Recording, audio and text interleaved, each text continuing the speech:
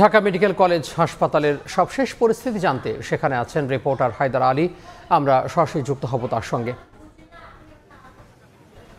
Dhaka medical college হাসপাতালে গত রাত্রে চিকিৎসকের ওপর যেই হামলার ঘটনা ঘটেছে, সেই হামলার ঘটনায় আজকে সকাল থেকেই এই হাসপাতালে কর্মবিরতি শুরু হয় এবং পরবর্তীতে দুপুর দুইটার দিকে এখানকার চিকিৎসকরা সারা দেশব্যাপী কর্মসূচির ডাক দেন। তারা যে চারটি দাবি তোলেন, সেই দাবিগুলি আমি বলছি যে এখানে এখানকার চিকিৎসকদের সার্বক্ষণিক নিরাপত্তা নিশ্চিত করতে হবে। এটি তাদের প্রথম দাবি এবং দ্বিতীয় দাবি হচ্ছে হাসপাতাল সব হাসপাতালেই চিকিৎসকদের নিরাপত্তার জন্য এখানে সার্বক্ষণিক সেনা সদস্য অথবা পুলিশ সদস্যদের মোতায়েন করতে হবে।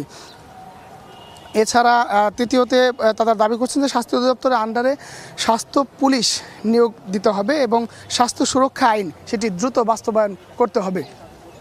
এই চারটি দাবিতে তারা মূলত দুপুরে যে কর্মসূচি রাখে তা হলো যে সারা দেশব্যাপী সরকারি বেসরকারি হাসপাতালে এবং উপজেলা, জেলা হাসপাতাল, সদর হাসপাতালগুলো সহ চিকিৎসকদের যে প্রাইভেট চেম্বার রয়েছে, সেই চেম্বারগুলোতেও তারা শাটডাউন ঘোষণা করেছেন এবং এই কর্মসূচি কিন্তু অনির্দিষ্টকালের জন্য কখন এবং কবে এই কর্মসূচি শেষ হবে, সে বিষয়ে তারা এখনও কিছুই জানেনি।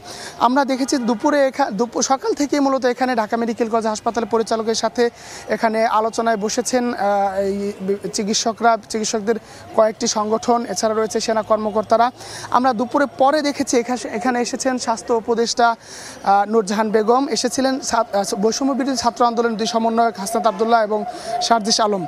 এখন পর্যন্ত ঢাকা মেডিকেল কলেজ হাসপাতালের পরিচালক কক্ষে এই আলোচনা চলছে। আলোচনায় কি সিদ্ধান্ত হয় সেটি আসলে আমাদেরকে পরে ব্রিফ করা হবে বলে আমরা জানতে পেরেছি। এছাড়া যদি আমি হাসপাতালের চিত্র আরেকটু বলি যে আজকে আমরা জানি যে ঢাকা মেডিকেল কলেজ হাসপাতাল হচ্ছে সারা দেশব্যাপী সব চিকিৎসা সেবার জন্য সবচেয়ে আস্থাভাজন একটি জায়গা। এখান থেকে সারা দেশ থেকে রোগীরা আসে চিকিৎসা নিতে। তবে সেই হাসপাতালটি আজ সকাল থেকে হঠাৎ করে যখন কর্মবিরতি যায় চিকিৎসকরা, এরপরে কিন্তু শত শত রোগী এখানে আসে এবং তারা চিকিৎসা না পেয়ে এই হাসপাতাল চত্বরে তাদেরকে দীর্ঘ সময় অপেক্ষা করতে দেখা যায়। উপায়ন্ত না পেয়ে অনেকেই নিরুপায় হয়ে এই হাসপাতাল থেকে আশপাশের বিভিন্ন হাসপাতালে তারা চলে যায় এবং অনেকেই চিকিৎসা না পেয়ে বাড়িতে চলে যায়। এই ঘটনায় এখন পর্যন্ত আমি যদি জানিয়ে রাখি যে ঢাকা মেডিকেল কলেজ হাসপাতালের জরুরি বিভাগ, সেখানকার সব কার্যক্রম বন্ধ, বহির্বিভাগের কার্যক্রম বন্ধ এবং ইনডোরের যে আইসিইউ সিসিউর মতো গুরুত্বপূর্ণ ওয়ার্ড রয়েছে, সেগুলোতে রোগী রয়েছে কিন্তু সেখানে কোনো চিকিৎসক নাই। এই একই চিত্র কিন্তু সারা দেশব্যাপী সেখান, এখান থেকেই তারা আমাদেরকে জানিয়েছেন যে এই কর্মসূচি সারা দেশব্যাপী চলছে। তো চিকিৎসকদের কর্মবিরতির সবশেষ খবর এই। সহকর্মী হায়দার আলী যুক্ত হয়েছিলেন ঢাকা মেডিকেল কলেজ হাসপাতালের সামনে থেকে।